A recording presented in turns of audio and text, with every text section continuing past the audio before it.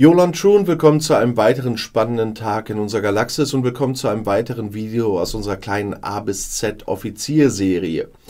Bevor ich aber über den nächsten seltenen Offizier spreche, noch einmal der kleine Hinweis, wenn du noch kein Abonnent meines Kanals bist, aber meine Videos magst, abonniere den Kanal doch bitte. Und wenn du das tust, klick auch die kleine Glocke und alle Benachrichtigungen, damit du erfährst, wenn ein neues Video rauskommt. Und jetzt schauen wir uns mal General Martok an. Er ist Klasse Ingenieur, hört, hört. Das bedeutet, du brauchst Ingenieursabzeichen, um ihn abzugraden. Er ist von der Gruppe Kitomers Revenge, also Kitomers Rache. Und wenn er Captain ist, kann er von anderen aus der Gruppe Synergien kriegen, wenn die mit ihm auf der Brücke sind. Oder er kann einem Captain aus der Gruppe Synergien geben, wenn er mit auf der Brücke ist. Und er gehört zur Fraktion Klingonen. Das bedeutet, du brauchst klingonische Fraktionscredits, um ihn abzugraden. Und da wir Martok ja aus Deep Space Nine zu Genüge kennen, gibt es diesmal auch einen etwas längeren Text. Der hätte ich schon fast mehr erwartet, weil bei denen, die aus Serien oder Filmen sind, sind hier immer längere Texte drin. Es gibt ja zu jedem Offizier einen Text, aber die, die Scopely sozusagen erfunden hat oder die einfach nur Statisten in irgendeiner Serie oder im Film waren, da sind die Texte immer relativ kurz. Aber bei Martok, wenn du Deep Space Nine nicht gesehen hast, solltest du dir den Text mal durchlesen. Wie du schon hören konntest, hat er ein Kapitänsmanöver und das ist Obercommander. Interessante deutsch-englische Mischung. Das bedeutet, dass Martok äh, erhöht den Schaden der kinetischen Waffen des Schiffes um 50 Prozent. Er ist also ja ein typischer klingonischer Kommandeur, weil äh, kinetische Waffen findet man gerne bei klingonischen Schiffen. Und da musst du auch drauf aufpassen. Auf einem Schiff, das keine kinetischen Waffen hat, macht Martok als Captain überhaupt keinen Sinn.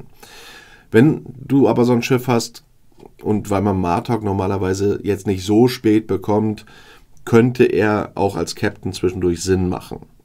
Und seine Offiziersfähigkeit ist unerschütterliche Loyalität. Er hat sich ja sogar geweigert, gegen äh, Gauron vorzugehen, als er das beinahe absichtlich aus politischen Gründen und aus Egoismus den, den Krieg gegen das Dominion verloren hat.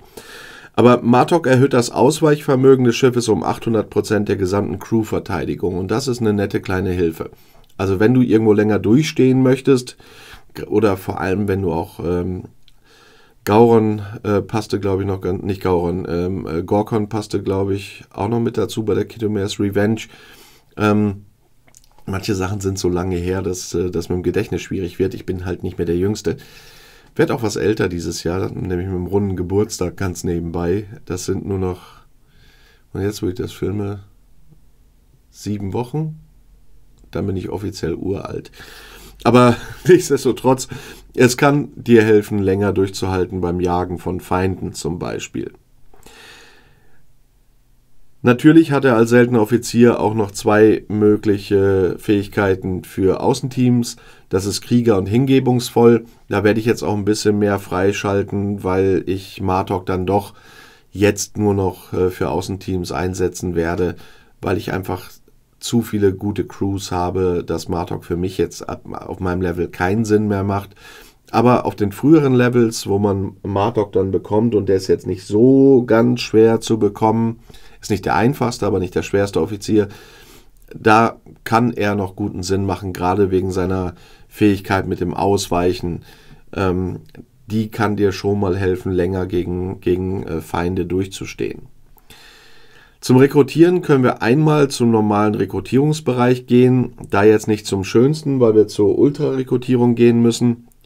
Wenn du mal merkst, dass ich zur Seite gucke, ich habe natürlich meine Listen wegen meiner Charts, die ich ja auch auf Discord gepackt habe, meine Listen für alle Offiziere, wo ich welchen Offizier denn herbekomme.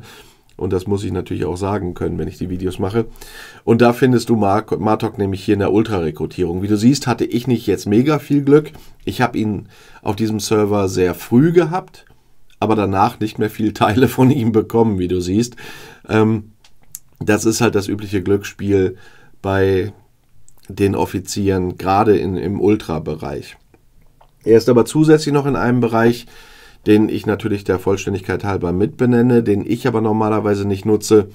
Das ist der klingonische Elite-Rekrut, weil man eben diese Token, wenn man sie nicht die paar, die man über Missionen bekommt, dann im Fraktionsshop holt, da braucht man erstmal einen gewissen Ruf dafür, um sie zu bekommen und dann sind die einfach schweineteuer Deswegen benutze ich meine klingonischen Credits lieber für ähm, Rotaran-Baupläne im Moment, weil an, an den Bauplänen arbeite ich jetzt gerade und äh, benutze das nicht für, für diese Elite-Rekrutierung. Aber wenn dir noch ein Offizier fehlt, der da drin ist, kannst du das natürlich als zusätzliche Geschichte nutzen.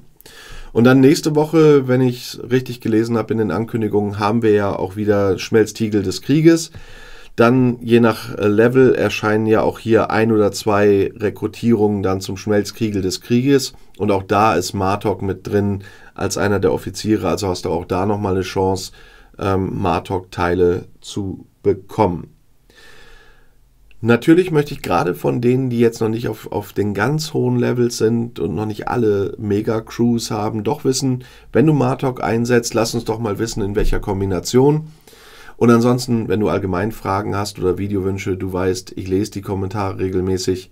Und wenn du jetzt noch ein weiteres Video sehen willst, ist das nächste hier im Endscreen. Ich sehe dich dann da. I'll be back.